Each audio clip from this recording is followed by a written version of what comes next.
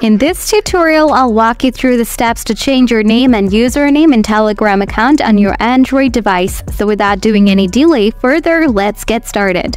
Step 1. Changing your display name. Open the Telegram app on your Android device. Next, tap on the three horizontal lines in the top left corner. Then select Settings. After that, tap on the three dots in the top right corner. Now choose Edit Info. Then type in your desired first and last name. Finally, tap on the check mark in the top right corner to save your new display name. Step 2. Changing your username. Open the Telegram app.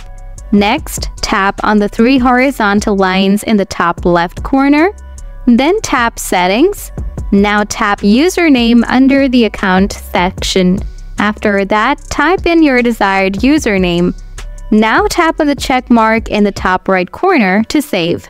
So that's all for today guys, that's how you can add new display name and username in your Telegram account on your smartphone. If the video did the trick for you, smash that like button. Thanks for watching this video and I'll see you in the next one. Bye!